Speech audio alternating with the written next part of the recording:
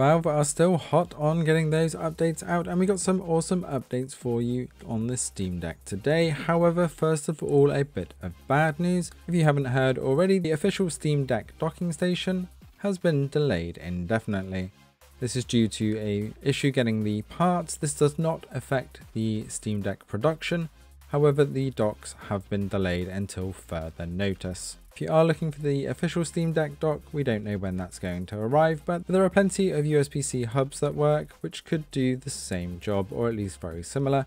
if you want to see the one that I'm using here on the channel to capture all this footage and use my mouse and keyboard, etc., check out the link in the description below. On to the main news then. Biggest part of this update is that as part of the app properties or game properties, you now have this game resolution option where you can come and override the game's resolution or the resolutions that are available in game. This can also be set for external displays but be warned with this update if you were plugged into a 16 by 9 display and you're using one of the third party launchers like Epic Games for example like I am then it does not give you this option for those launchers if you're using Epic Games or Ubisoft Connect installed directly you do not get that game option as it's an exe and not recognized as a game. So if you are using external display, you will get locked to the ratio of that display rather than being able to use the full screen 1280 by 800 upscaled as before. Onto the other updates then, they've added mouse cursor using the right trackpad when using built-in browser interactions.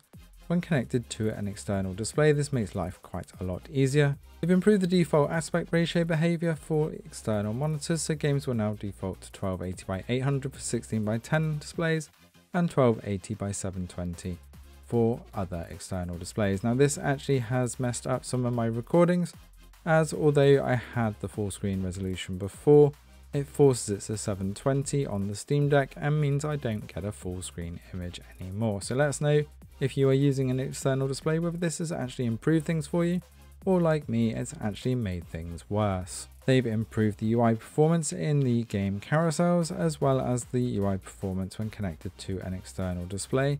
I've yet to see what effect this actually has, so I'm a bit skeptical on this one. They've improved the controller order and we've heard a few complaints about this, so it'll be very interesting to hear from you that are using external controllers to see if this has made any improvements. So when using external gamepads to assign the controller slots, they will now be done by the order of input.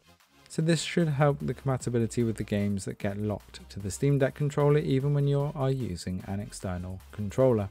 They fixed the enable update fan control toggle not remembering its state across reboots if you are using the legacy fan control over the new controls that they implemented in the last update. They fixed Bluetooth controllers not working on the lock screen. Let us know in the comments below if you're actually using a lock screen. I haven't found the need to use one yet, so I'm interested to see if others are actually using the lock screen. They fixed some formatting issues on the Steam Deck chord summary display. Somebody will have to explain this one to me as I'm not sure what the chord summary page is.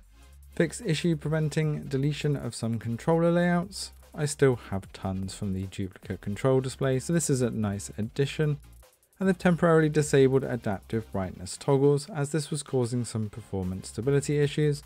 And they want to shout out to the community for catching this one. They are working on a fix but without the community input they would not have known the issue. So kudos to the community and I do have to give a shout out to the Steam Deck community. You guys are absolutely awesome. And if there is anything that you guys think that should be covered in the news or gameplay videos, then let me know in the comments below and I'll see what I can do. That's it from the news today. You've been watching God of War playing in the background while we've been doing the news. Do check out the gameplay on that and the FSR 2 improvements. Thanks for watching and see you next time.